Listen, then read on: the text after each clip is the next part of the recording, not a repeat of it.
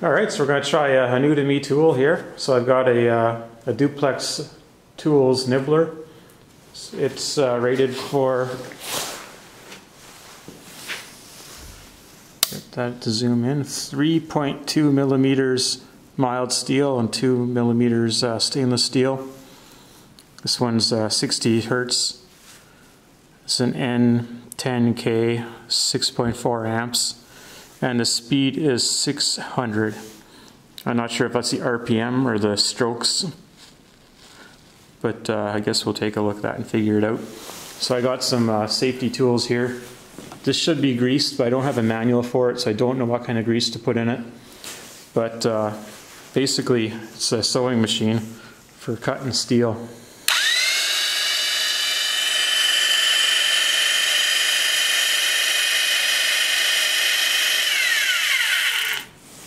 So I got a piece of uh, metal here. Try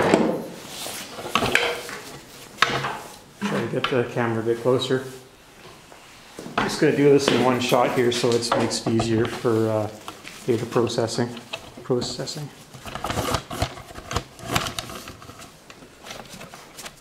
And that I don't need to do anything, I can just upload it directly. So I'm just going to put on my hearing protection and my safety glasses because I've never used this before. This is a, a first try.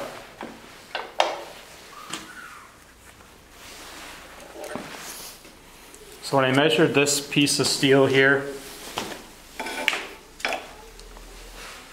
it's 0.127 inches, which uh, can't really, and 3.23 millimeters. So that's pretty much the maximum that this tool is capable of. I figured that if it could fit into the throat, then it's probably the right size. And I think it can. So it's an on-off switch, so you just turn it on. We'll see if we can go straight and or turn.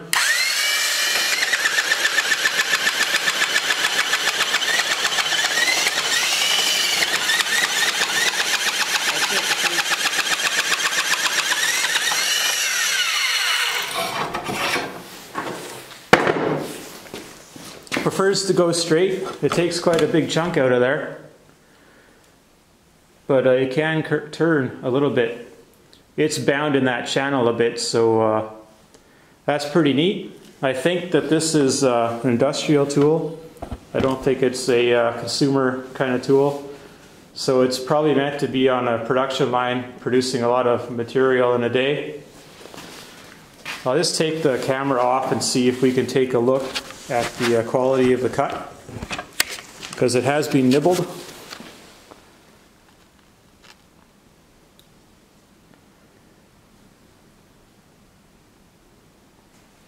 I think that's pretty neat. That opens up some opportunities for cutting uh, big pieces of metal.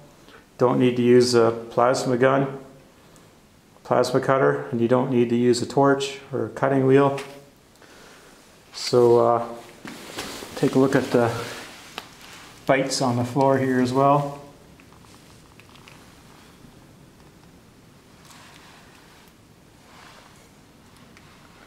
So that's pretty uneventful. I'm pretty happy with that. So uh, I, you can't buy this company's product anymore.